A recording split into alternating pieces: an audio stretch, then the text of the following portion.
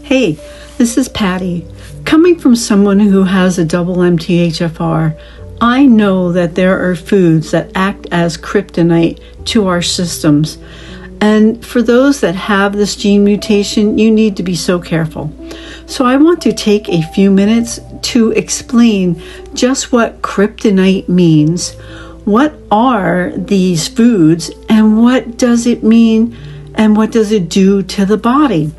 So, when people refer to certain foods as kryptonite, um, you think of Superman, right? So, people with the MTHFR mutation, this means that these foods can have harmful or disruptive effects on your body in your health, much like kryptonite weakens Superman. These kryptonite foods can weaken the body and help make that body struggle to properly methylate, which is a vital biochemical process involved in detoxification, DNA repair, and neurotransmitter production. So, what does all that mean? And what is this MTHFR mutation?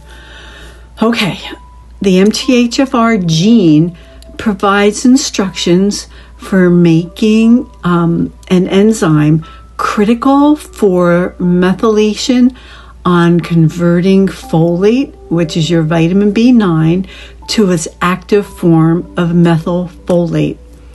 Mutations in this gene can reduce the enzyme's efficiency, leading to issues such as elevated homocysteine, um, increased inflammation, fatigue, hormone imbalances, and more. Okay, so why are certain foods considered kryptonite? Well, what did Superman have to be careful of?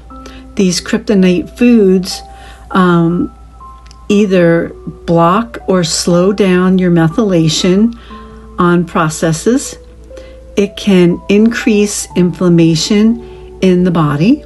It can hinder detoxification in your pathways.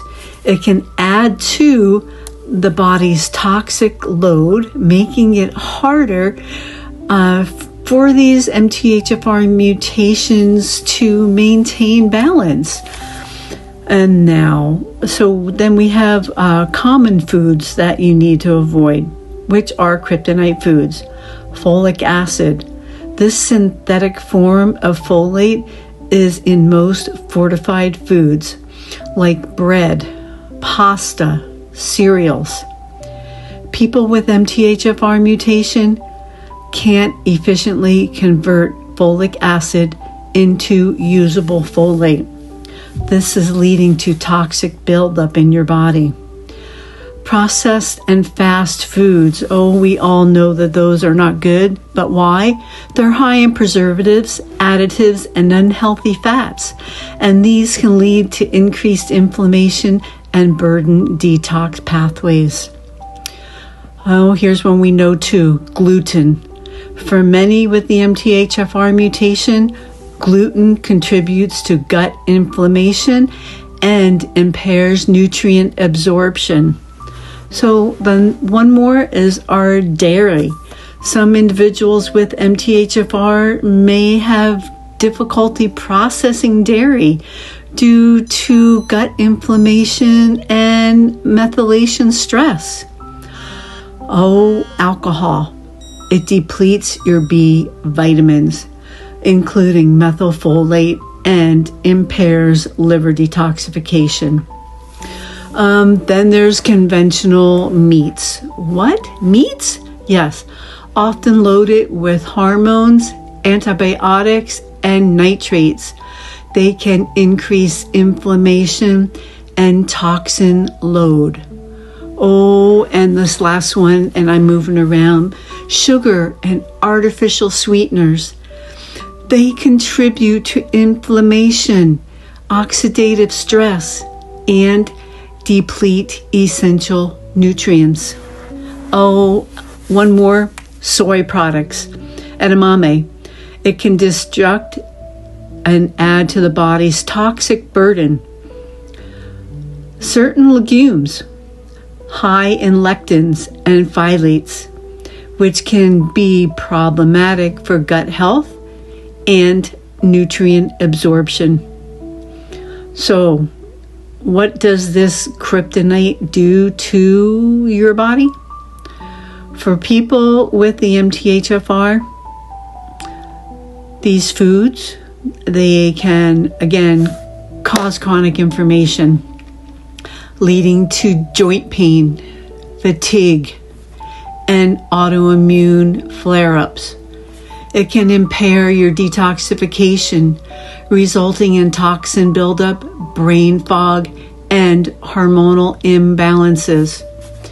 It can disrupt your mental health, yes, increasing anxiety, depression, and mood swings due to neurotransmitter imbalances.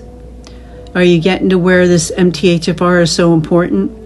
It also can increase homocysteine levels, raising the risk for cardiovascular diseases, migraines, miscarriages.